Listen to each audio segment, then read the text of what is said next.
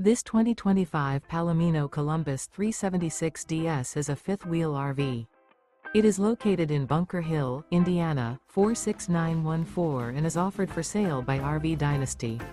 Click the link in the video description to visit RVUSA.com and see more photos as well as the current price. This new Palomino and features Sleep 6 slide out. The floor plan layout of this fifth wheel features front bedroom, kitchen island, loft, rear bath, two entry, exit doors, two full baths. Remember this is an AI-generated video of one of thousands of classified listings on RVUSA.com.